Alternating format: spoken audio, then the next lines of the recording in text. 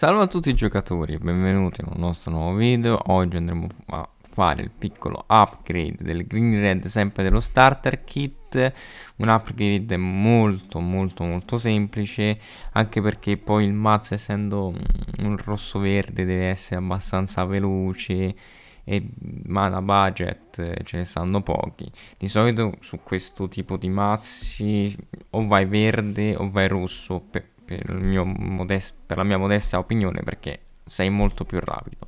Però andiamo a vedere comunque un piccolo upgrade per chi è interessato, ovviamente sempre molto economico. Prima di iniziare, come sempre, vi invito a iscrivervi al nostro canale di, di, eh, per rimanere sempre aggiornati con il mondo di Yugi e non solo. Grazie mille e andiamo a vedere le carte. Allora, il 4 per dell'ascendante Epic Leader, costo 1-2-1 quando entra nel campo di battaglia. Se abbiamo una um, permanente con costo di mana 4 superiore guadagna 6 1 più 1 più 1 e ogni qualvolta eh, castiamo una, una spell con costo di mana 4 superiore prende un 6 1 più 1 più 1 quindi è una partenza molto rapida che può pomparsi.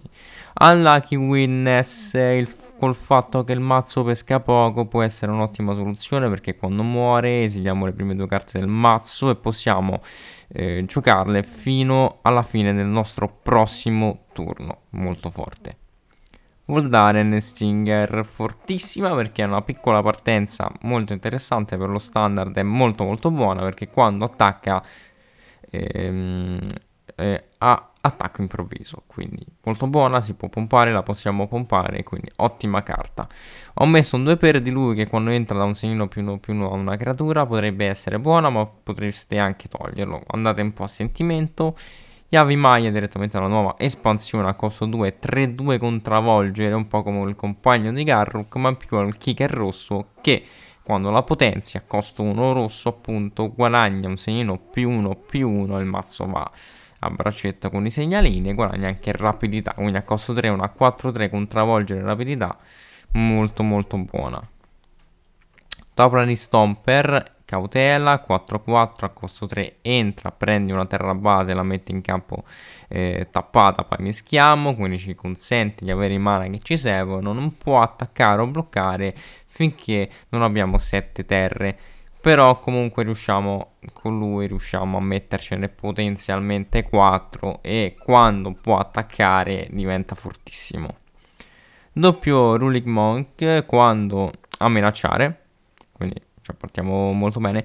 Quando attacca guardiamo la prima carta del mazzo. Se è una terra la possiamo calare. Se non è una terra eh, non la possiamo calare in questo modo. Creiamo la patina goblin attaccante 1-1 ci sono tantissime carte ovviamente multicolore, così nel senso verde e rosso molto buone, però al momento ho deciso tranquillamente di mettere solo lui, proprio molto semplice, e Thunder King Raiju, Thundering Raiju, che è una delle carte più forti, rapidità 3-3, costo 4, quando attacca mette un segnino più 1 più 1 su una creatura e l'oppo perde un danno per ogni, per ogni altra creatura con un, segna con un segnalino più 1 più 1 quindi con più copie vi permette addirittura di chiudere senza neanche fare il danno da battaglia.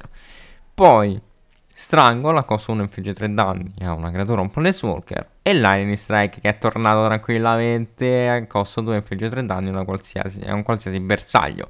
Poi il 3 per di Sticky Fingers perché comunque è molto buono, la creatura equipaggiata a minacciare, quindi può essere bloccato soltanto da due o più creature e quando infligge danno creiamo un Treasure Token che lo tappi, spacchi e aggiungi un mana di qualsiasi colore, che potrebbe essere fondamentale nel mazzo. Poi 9 foreste, 9 montagne e 4 doppia terra. Non ho messe troppe doppie terre perché vanno tutte tappate quelle budget e potrebbe essere molto complicato proseguire.